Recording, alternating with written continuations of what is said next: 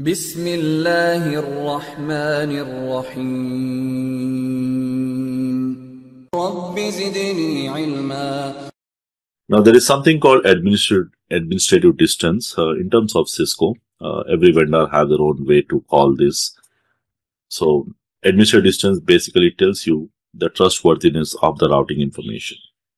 So lower the value is more trusted. Let's try to understand what is this exactly. Now let's say we have a router and the router is learning about a specific network. Let's say there is a 192.168 uh, 2 dot network and it is learning about this network from multiple different paths. It is learning from this side. Uh, maybe you have configured some dynamic protocol, let's say EIGRP. And also I'm learning from this side, maybe an OSPF or maybe you can say static, let's say, or any other protocol. So which means there is a possibility that normally most of the time when we configure, we don't configure multiple routes, multiple static routes or multiple routings. But let's say due to some reason you have some multiple routings enabled and you're learning the same information from two different protocols. So it has to use any one. It cannot say that I'll use both. It has to trust any one routing. So it has to decide who is more trusted who is more reliable or which, which routing exactly I have to use. So in this case, it will see something called administrative distance values. Cisco uses these default administrative distance values based on Cisco uh, metrics. And the EIGRP have the administrative distance value of 90. OSPF has the administrative distance value of 110. So the router will decide to listen to the EIGRP because that is a little bit more trusted. So the lower the value, the more trusted.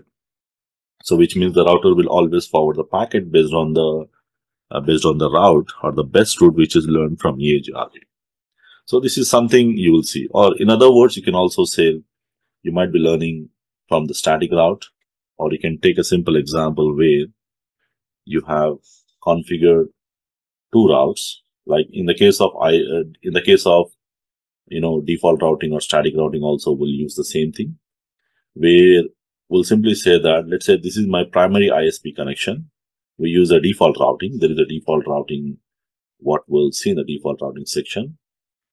So what we do is I want to make sure that all the traffic should go to the ISP via primary link. And let's say this is my 150 Mbps link and this is my just 20 Mbps link. So I always want to prefer my 150 Mbps link. So what I can do is I can simply go to this router and I can simply say IP route. So if you have two connections or two next hops, let's say this is 10.001 and this is 11.001. And to reach any network, if I'm using a static route, uh, again, default route will keep it aside.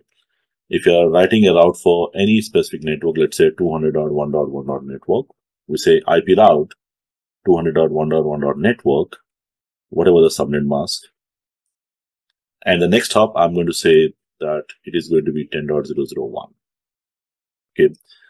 And uh, likewise, I'll add one more route. We call it as IP route 200.1.1. network via 255.255.255.0 via 11.001. And I'll give the AD value as 2. Now, there is one more option you will find in the last called administrative distance. And if I don't give anything, the default will be one. So it's not just about two different routings. Even if you are learning any one routing, like in the case of static routes or floating static routes or the default routes, we'll use this scenario where you have to decide where you're going to write two destinations, right? For the same destination, I'm writing two different routes, but I'm saying that this is going to be my primary and the reason because primarily because the AD value, whichever is a lesser, that is more trusted. So in my case, I'm telling my router one, hello router one, always use this one, always prefer this. But let's say due to some reason, if this goes down, then you can use the second one. Okay. So we call this as a floating default route well. So again, we'll see this in the floating uh, default route example, configuration example over there.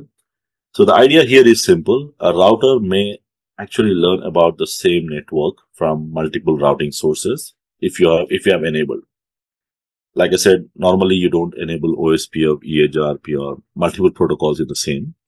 But in case if it is learning about this information from both, it is going to compare the AD value. In the case of AD value, the OSPF is 110 and the EIGRP is 90. So it's going to select based on the EIGRP 90 and it will simply forward or listen to that. Okay. So these are the default AD values which has been defined. We can change them. So the connected always have zero, which is always uh, trusted. And the static route will always have the AD value of one. You can verify this if you go to the routing table, assuming that if you have already configured the static routes, you can see there is a static route which is being configured and you can see these values here. So technically there will be two values here. The first value defines the AD value and the second value defines the cost. So the cost is something you will see when we go to the dynamic routing, especially if you're using EIGRP or OSPF protocols. And the AD value will be mentioned here. So if this protocol is OSPF, you'll see O here. Then you'll see the AD value is 110 and then the cost will be changing. So depending upon the protocol, these AD values will change. Okay. So, so what is this AD value? AD value is simple. Uh, it defines which route is more preferable. So, so always when you're enabling multiple protocols or if you don't enable, normally we don't enable dynamic routings like this. But anytime you see the router is going to select this route, not this one, then you have to compare whether uh, whether there is an AD value configured, which is it's not configured actually. The AD value is by default present. So the route with a lesser AD value is being preferred.